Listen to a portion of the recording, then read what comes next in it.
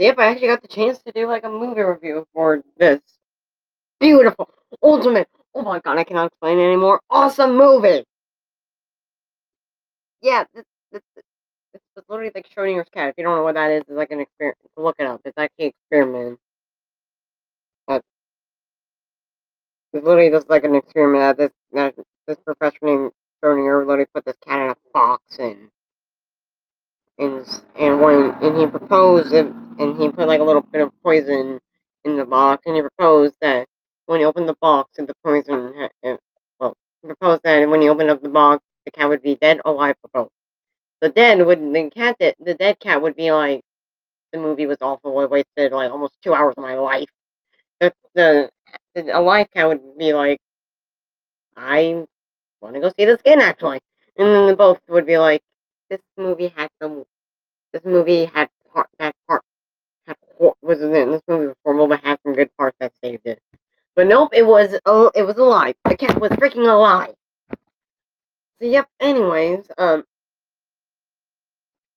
know, express it. It was this ultimately also. I mean, I literally laughed my butt off almost in this entire movie because it, it, yes, it's kind of it has a little bit of dark humor per se. By that I mean like some parts like a little gory. Will you shut it, tractor? I literally have a tractor going right by my house at this point. Just move along. Okay, thank you. But anyway, I mean, yeah, the, like, I really can't. If I mean, it was like a little, kind of little parts that were a little gruesome, not, not like gory, where you could like, like, like you usually see, but like stuff like necromancy and stuff. So kind of made it a little darker. It was a little darker per se, but apart from that, it was like the mo- If you guys have a theater near you, then you can actually go see this movie in well, I, I say the movie that this movie is in. I recommend going see. I recommend you guys going to see it for yourself. It was just awesome. Can't explain it anymore. I yeah, and I have some spoilers ahead. But pretty much, it's like uh, yeah, some spoilers ahead, but what? Then yeah, some spoilers ahead, pretty much. It, the, the story takes place in New Zebedee, Michigan, in 1990, 1955. And this kid named Lewis, in this moon poster I'm pointing down here, this kid, has to go with his Uncle Jonathan, who was played by Jack Black. So you can tell the movie's gonna get good if it has Jack Black in it. So yeah, anyway, so pretty much he, and pretty much this house is like, they kid, kids at the school saying that this house is haunted. Like some guy murdered him, like an old man was murdered in here. But no, that's not true. What actually happened for say is that there was this warlock, or this case, boy witch.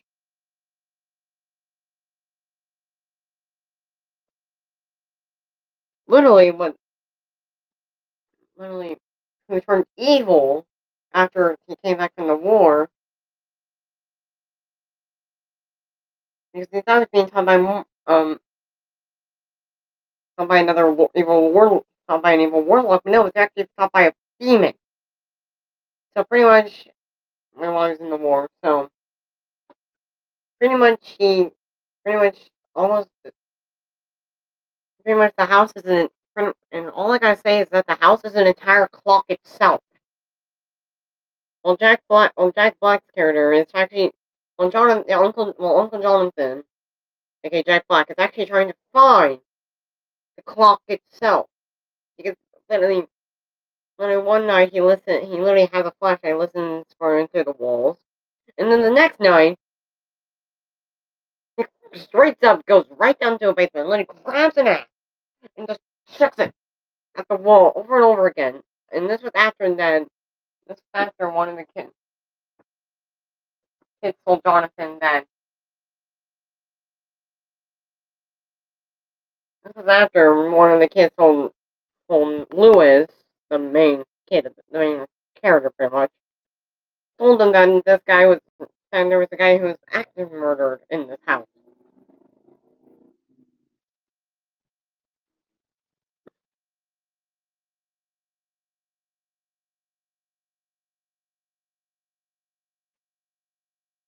Literally, ultimate.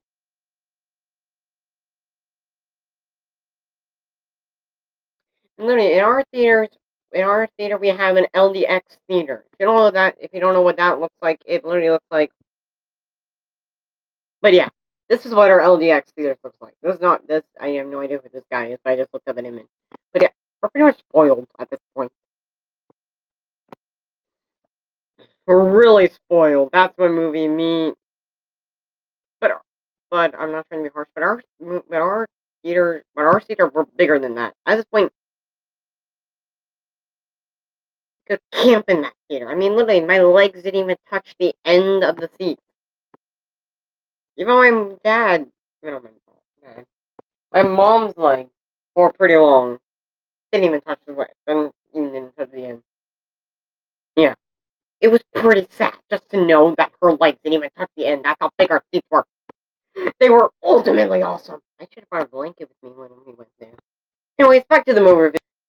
So yeah, anyways, after showing you guys that, I think guys are pretty jealous of our movie theater now. But anyway, if you are, if you already, if probably you guys already have one, have them yourself.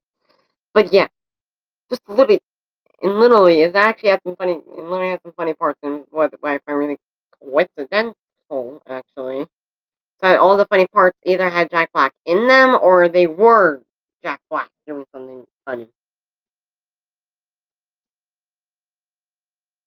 and literally this guy's playing the one that pretty much the old man who old man who was murdered in this case actually um this old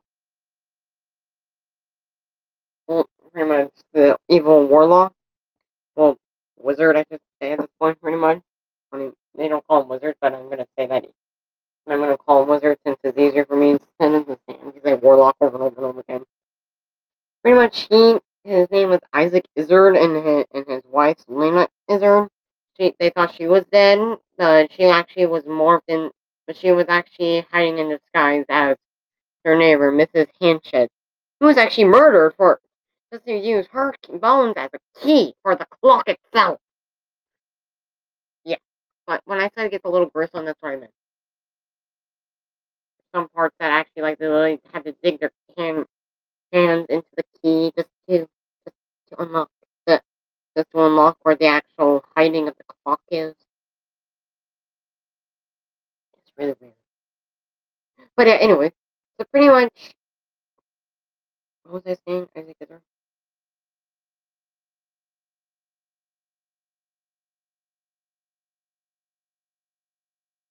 anyway,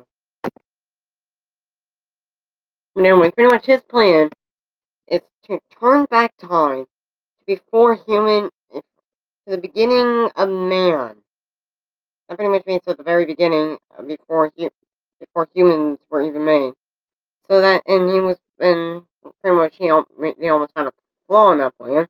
But he then he mentioned that he was gonna make sure that he erased time, erased it to make sure that erased well everything, so humans were couldn't ever well, humans would never actually be made. Would only just be him and her. Him and his wife. Him and his freaking wife. Oh, I need, I need to take a moment for a second. Just, anyways, I'm back for my minute. I had, anyways. So pretty, and also I really, and at the end of, and at the end, there, at the where the credits were, and literally said no chairs or top or topograry topograry topograry was like garden griffins. We're never we're we're not we're we're harmed in the making of this video and this of this film. So pretty much no chairs or garden griffins were harmed in the making of this movie. It was really weird.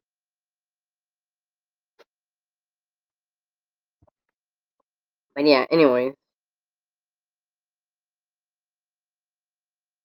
They even had a pet snake named Snakeulus, and the experiment failed because they were supposed to turn him into a pink snake, but then he was just turned into like this octopus thing. You never actually got to see the head of it. All you got to see was tentacles.